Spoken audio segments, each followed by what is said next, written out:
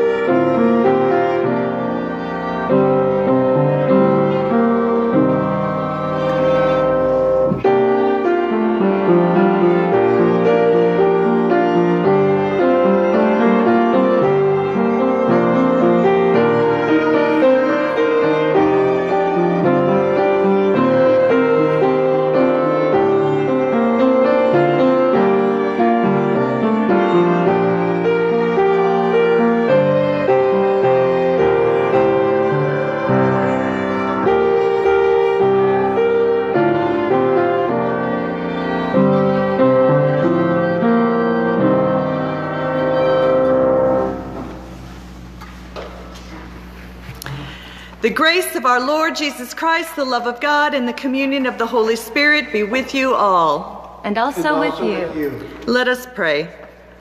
Almighty God, your Son, Jesus Christ, is the way, the truth, and the life. Give us grace to love one another, to follow in the way of his commandments, and to share his risen life with all the world. Amen.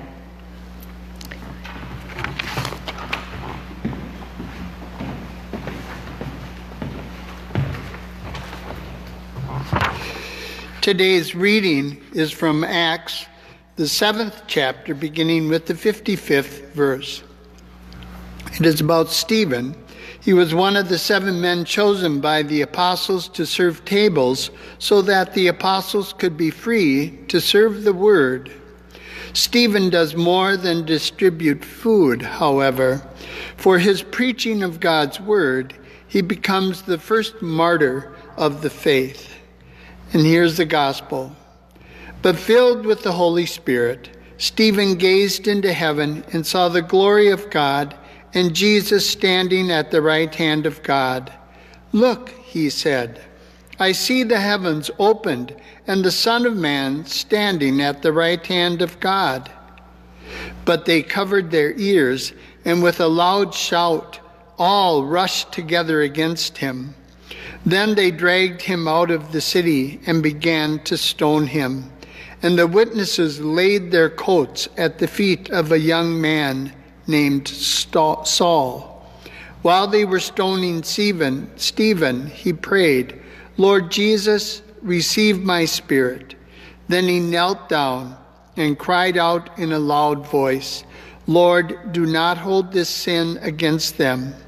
When he had said this, he died. This is the word of God.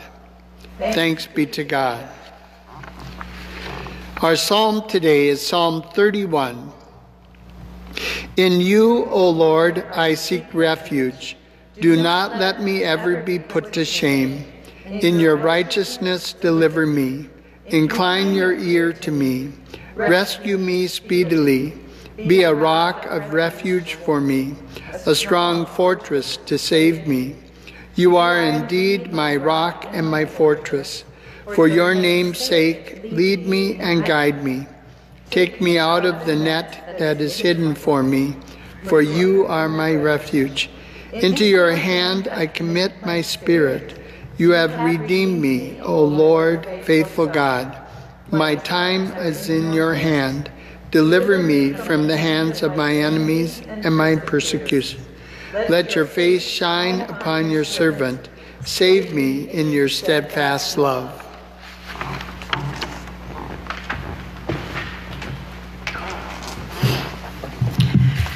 And the Holy Gospel for the fifth Sunday of Easter is taken from John chapter 14, verses 1 through 14. Glory to you, O Lord. On the night that Jesus is to be arrested, he shares his final words with his disciples.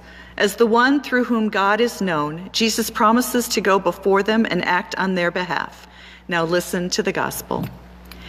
Do not let your hearts be troubled. Believe in God, believe also in me.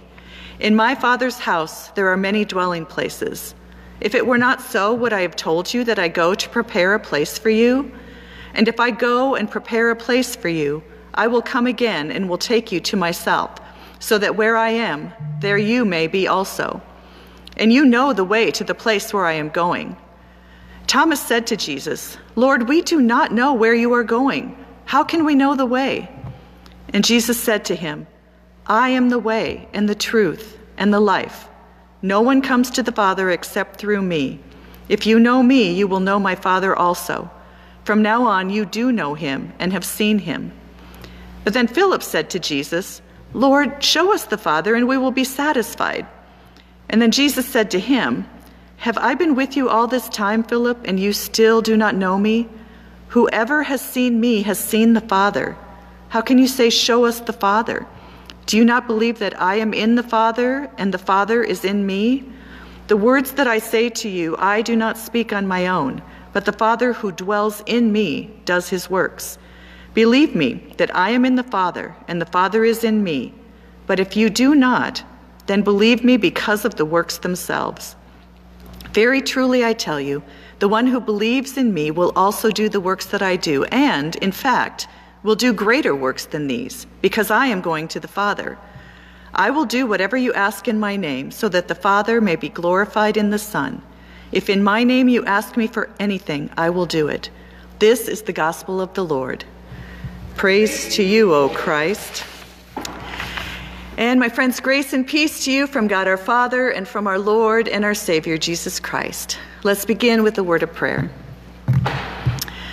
Heavenly Father, when we are lost, you shepherd us, you find us, and you show us the way. Remind us of that, that no matter how far away we feel, you are going to guide us home. In your name we pray. Amen.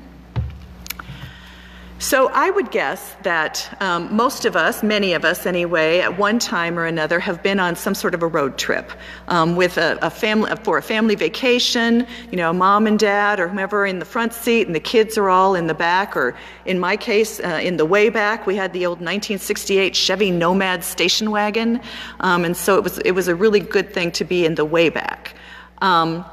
And so on these road trips, you know, maybe we're going to Yellowstone or maybe we're going up north or whatever, sometimes if it was a new place, of course you would need a road map. Now, all of you kids out there, yes, we used to have things called road maps, and they were very large and you could get them free at a gas station.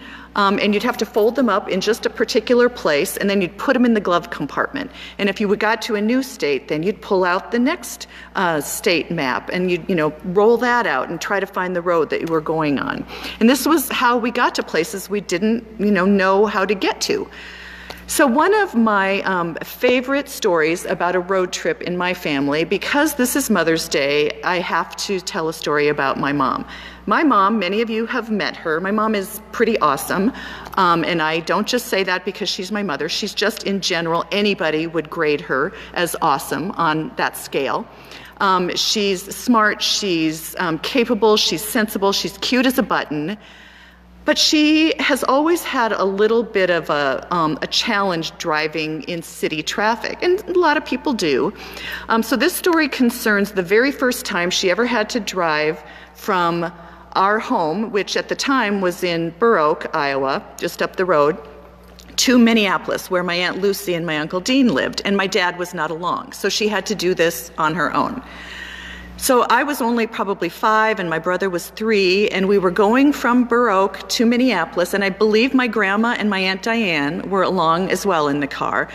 And because my mom had a lot of insecurity, this was the first time she'd done this trip, my Uncle Dean had taken a road map, and especially of the part once you get up to the cities from their house to from the bottom of the cities, the, the you know the south part of the cities up to their house, he had taken a green marker and highlighted all of the roads and all the turns that she needed to take to get to their house. So all we had to do was follow that green marker, and I would imagine that either my grandma or my aunt was in the passenger seat, you know, telling her following this green marker.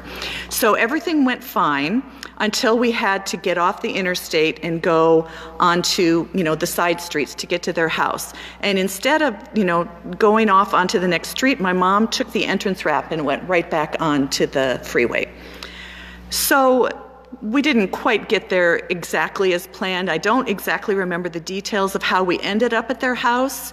Um, but afterward, my brother, in all his three year old wisdom, said, Why didn't Uncle Dean just draw the green line right on the road. I mean, that would have been easy to follow, right? Put the, fold the map up and put it away. In our reading from John today, this is essentially what is going on. The disciples want a map and not, you know, they don't just want directions. They don't just want, you know, a map with a green line. They kind of want Jesus to tell them everything, you know, directions on where we're going, etc. Last week we had um, the, the parable of the sheep and the gate and the gatekeeper, and Jesus said, You know, I am the gatekeeper. You know, you go in and out through me, you have security and you have freedom. And so this week we get to another one of these great I am statements in John I am the way and the truth and the life. I am the way. The disciples, though, immediately have questions. Thomas wants to know, how can we know the way? You know, and Philip is like, show us the way. Don't, he didn't even have a question. He just was like, give me, give me, you know, don't bother with giving me the directions. Just lead me right there. I, I need that, um, that very strong certainty about where I'm going.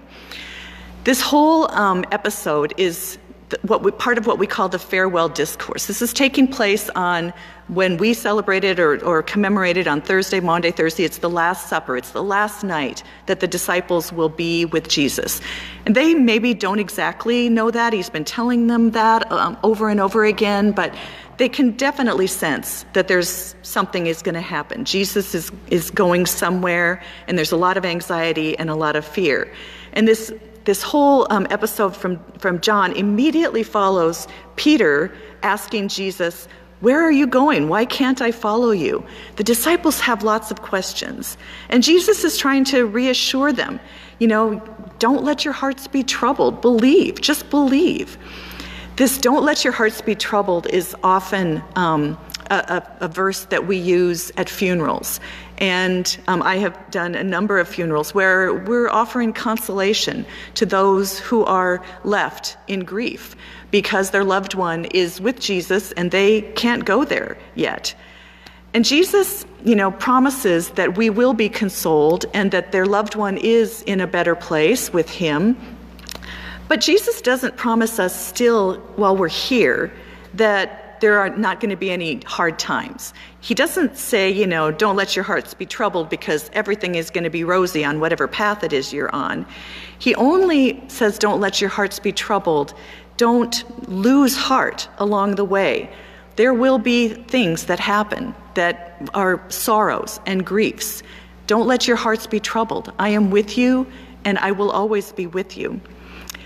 In the book of Revelation, which was also uh, written by either John or one of John's followers, um, Jesus is described as the beginning and the end, the Alpha and the Omega, which I find very um, comforting in many, many ways because if you put Jesus on a map and we put ourselves on that map, it means wherever we start, Jesus is there. Wherever we end, Jesus is there. It almost doesn't matter where you're going. Jesus is going to be there at the beginning and the end. Even if you get lost along the way, Jesus is going to be there along the way. Throughout life, and especially right now, but throughout life, we all want a map. We all want directions. We all want to be led. And we all always have a question you know, are we there yet? Are we there yet? That's, that's one of those things. I have um, found it very comforting in um, ever since I was a kid, but especially lately, I say the now I lay me prayer when I go to bed. Now I lay me down to sleep, etc., because it ends with guide my ways. Guide my ways. And when I pray in the morning, one of the things that I ask Jesus for always is guidance. You know, whatever direction I'm going, whatever I, I need to do that day, guide me, guide me. And this is the good news. We look back to the text and we find out that we don't need a map. We don't need to worry about the fact that we don't have the directions, we don't exactly know where we're going, we don't know if we're there yet, because Jesus says, I go and prepare a place for you. I will come again and will take you to myself, so that where I am, there you may be also. The good news is Whenever we feel lost, no matter where it is, Jesus is the beginning and the end of wherever we're going, and Jesus will come and get us and take us with him. And that is the good news for today. Let us pray.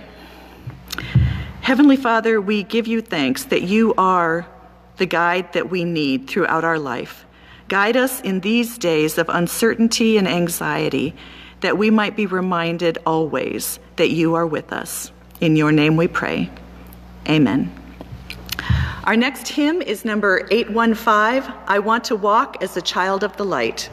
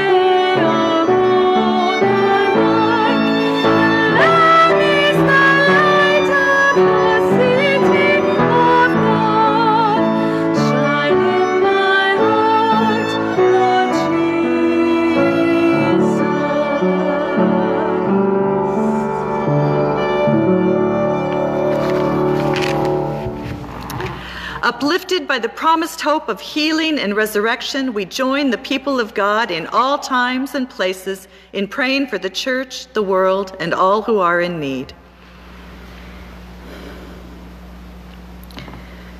Build us up, mothering God, as living stones united in your spiritual house. Bless our bishops, Elizabeth and Regina. Bless our partner congregations in Southeast Minnesota, South Sudan, Tanzania, and Colombia, and bless this congregation. Strengthen your church as we are called to proclaim your love in uncertain times. Lord, in your mercy, hear our prayer. God of healing and rest, we pray for all who desire healing in body and spirit. We pray for those isolated physically and emotionally, for the grieving, and especially for the family and friends of Ann Pulowski. We pray for the unemployed and underemployed, for prisoners, for those suffering from addiction, mental illness, chronic suffering, fear, and grief. Look after healthcare workers, essential workers, leaders in our country, state, and local governments, farmers and farm families. And especially today, Lord, we ask that you be the way, the truth, and the life for all those in our communities, our congregations, and our families who suffer. For Bob Eilers, Lori Wilhelmson, Karen Hovey, Sunny Rude, Mary Amundsen, Helen Melbestead, Lucas A.J. Wisty, Steve Thorson, Gordon Eddy, Tom Ellingson, Sharon Storley, Sue Alsith, Sharon Johnson, Betty Johnson, Vi Musser, Pat Blogsved, Rachel Krensky, Shirley Gerard, Mavis Johnsrud, Sandra Wenig, Anna Bingham Uris, Sawyer Oaks, and Jennifer Wedman. We also pray today for support and guidance to the parents who are teaching their children at home at this time, to our high school and college seniors, and for all those we name in our hearts. Lord, in your mercy, hear our prayer. Nurturing God, we pray for all those who tend and teach young children, for the safe pregnancies of expectant parents, and for families who struggle with infertility and miscarriage. We give thanks for all who have shown mothering care, and we remember all for whom this day is difficult. Lord, in your mercy, hear our prayer. With bold confidence in your love, Almighty God, we place all for whom we pray into your eternal care. Through Jesus Christ our Lord. Amen. Amen. Gathered into one, both near and far, let us pray as Jesus taught us. Our Father, who art in heaven, hallowed be thy name. Thy kingdom come, thy will be done, on earth as it is in heaven. Give us this day our daily bread, and forgive us our trespasses as we forgive those who trespass against us. And lead us not into temptation, but deliver us from evil. For thine is the kingdom, and the power, and the glory, forever and ever. Amen. And now may the one who brought forth Jesus from the dead raise you to new life, fill you with hope, and turn your mourning into dancing. Almighty God, Father, Son, and Holy Spirit bless you now and forever. Amen. Amen. Our final hymn is number 379, Now the Green Blade Rises.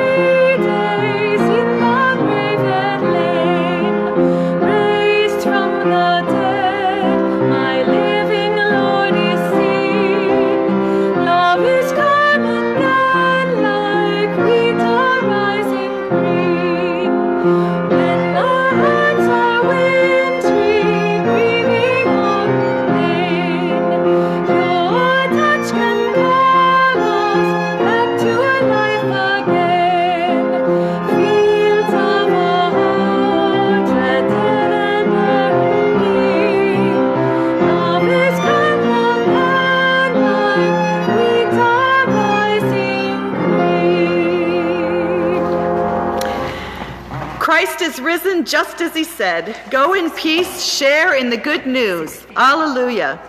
Thanks be to God. Alleluia.